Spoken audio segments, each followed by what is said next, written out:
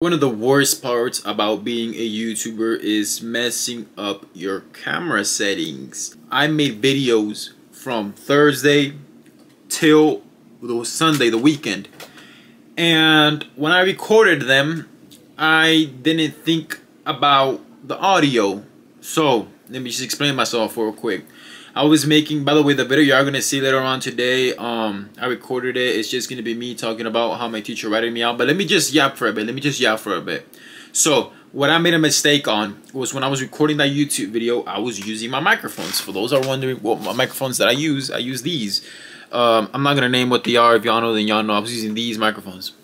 Um, so when I was using them, I had to turn down the volume on my camera settings the audio, how to turn on the audio on the camera settings so that it, I could use most of the audio for the microphones. I did that, finished recording, cool. It was a banger, in my opinion. It was a banger. Um, hopefully y'all like it. I did not think about putting up again the audio where I had it before. Um, back to my default audio, if that makes any sense. When I record my vlogs, I have it on default audio and obviously that's just like one of the best i just leave it like you feel is recommend one of the best audios to record videos. And i filmed like i said i filmed lots and lots of vlogs. Like i said those vlogs were recorded from legit um, monday till friday. But since i didn't turn up that volume settings that i was just telling y'all about all of the literally all of the audio was legit low. And yeah i went into my audio i legit turned up all um basically i turned it up to max to see if it you know, could go back to the audio where it should be at.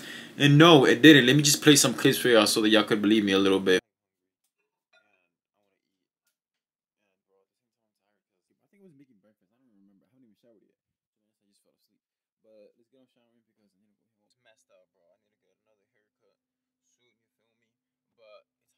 So as y'all can see, that is legit full max volume and it did not do justice. But it is what it is. I'm just very frustrated and upset because, like I said, I recorded um days of videos. I recorded days of like just vlogs. You feel me? And I'm just very upset on myself because I didn't um do that. I didn't like double check. That's why it's very important to double check, and that's why this is one of the worst parts about being a content creator. Make sure y'all, if you're gonna get a camera, make sure your audio, your video, your whatever it is is good. Double check. You feel me? Um, and yeah, let's get straight into the video.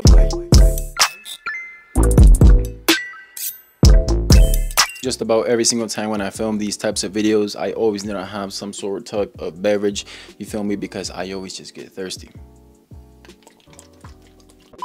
So this is going to be a story time where I went to a conference in elementary, specifically second grade, and my second grade teacher ratted me out to my mom saying that I was gonna basically fail the class and that I was just not gonna pass. So let's get straight into today's YouTube video. It was a lovely day back in 2012. I remember it like if it was yesterday and our teacher had told all of us that parent teacher conference week was pulling up and I remember mine was on a Thursday because my mom's days off would be always on a Thursday when she would work back then you feel me now she doesn't work because you know her knee and she has a vertigo you feel me? But we still getting through that. When she told me that, I already knew, not gonna lie, I was already gonna fail. That is because around that time, I was addicted to video games. Matter of fact, that is the same year, you feel me? I got my console, my first ever console for those newers or that don't really know me like that. My first console was an Xbox 360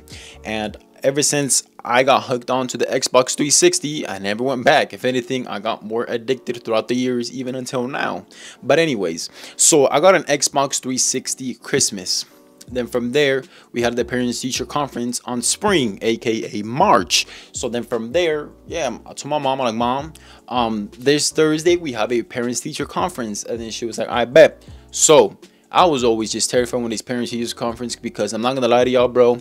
My mom, every single time when the teacher would say something bad about me, like the teacher would say, "Oh, you know, your son could be doing a little bit better on this," and my mom would always give me that death stare. Like she would be like, and then under the table she would legit pinch me. I'm not even lying, bro. She would legit do that, and I'm just like, bro, like that's scary.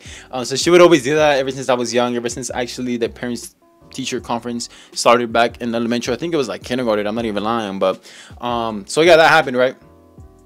So Thursday comes up, and dude, I already knew I was failing because, like I said, I was addicted to video games. Black Ops 2 came out, Xbox 360 came out, da, da, da. So my mom pulls up, me and my mom, she was like, hey, how are you? And my mom's like, good, good, you know, she didn't really know how to speak English, even though now she doesn't know how to speak English very well, but she said, good, good, and yeah.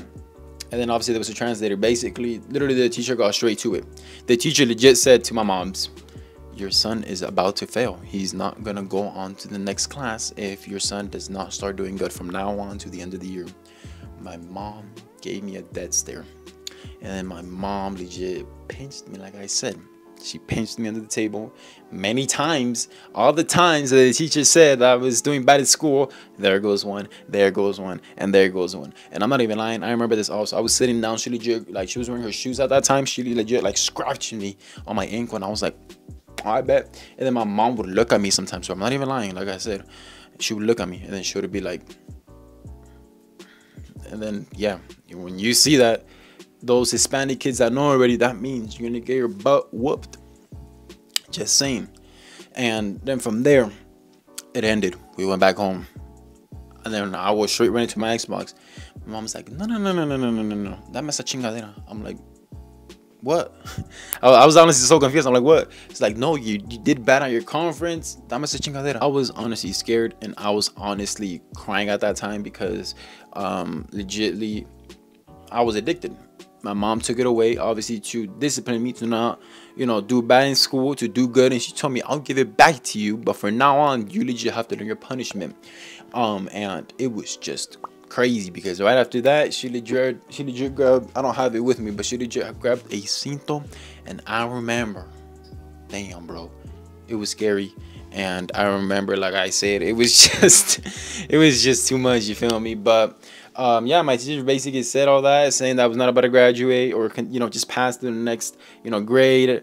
Um, that, that her son is also addicted to uh, the video games to take it off. So basically, she gave the idea to my mom to take it off, to unplug my console and take it with her to work. My mom did that. She carried her little purse, her little bag. She put my console in there. I don't know how it fit, but it went in there.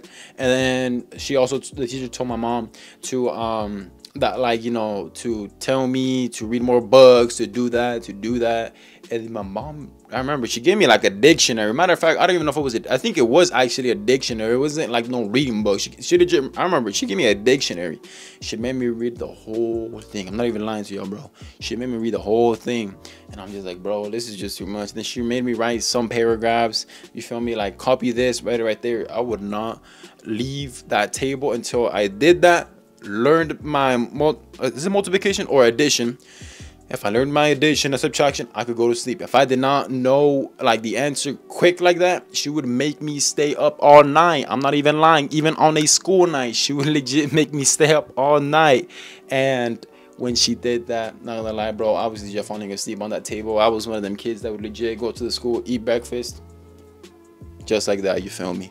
But yeah, so it was just bad, man. My teacher basically went off on me, and then my mom went off on me, and then my dad. To be honest, he didn't really care. To be honest, if I'm keeping it a buck, my dad did not care. He just cared about making money, of course. You know, helping with the you know the bills here, this and that, and of course he wanted me to do good in school, but at the same time, not really. He didn't really care. My dad actually, my mom was talking to my dad, and then my dad was like it's all right. Next time you'll do better, son. And I'm like, yeah, yeah. Matter of fact, he took me to the liquor that same day because he needed to buy a pack of cigarettes. He bought himself a pack of cigarettes. I remember he bought me my Doritos and my Coke. My mom also didn't know this. That I also had a friends local here in the neighborhood, and I would just go to their house and play the new Black Ops 2 that came out. So regardless, it was just a W for me. And that was also a W for all the kids there. I'm not even lying. Although I'm pretty sure some Hispanic moms or parents or whatever um did give them that dead stare and legit went like this to them and legit told them that this was gonna happen at the crib when you when we get home, this and that, this and that. Um, although it was minimum day. We legit got out at like 12. Depends on the grade. I think like the lower you graded, the lower or not the lower the yeah, the lower I can't even talk. So it was the lower the grade, the earlier you got out, and then the later, the, the later you got out. You feel me? I think the latest was like 1.30, 1 o'clock. I don't really remember. So yeah, so I think since I was in second grade, I got out like at 12 or something like that. And then from there, I would make my way to the cafeteria, then go home. And bro, I remember I was walking back home with my mom. She would always want to pick me up. Yeah, cause her her job would be close by. And Then we would just go walking home. You feel me? But it was hot. It was extremely hot, especially there would be you would go up like a hill in the mornings, bro. I was just tired tired, sleep deprived. I just did not want to do anything. And then going up that hill, I remember going back to, you feel me? Like going up that hill, the top of the hills of the school. So I always go walking, like barely making out of breath, grabbing my knees, like grabbing my water bottle of Lightning McQueen and just taking a sip, putting it back on my backpack, and then going up the little hill, continuing. You feel me? But that is the story on how my mom's basically disciplined me when I was a kid.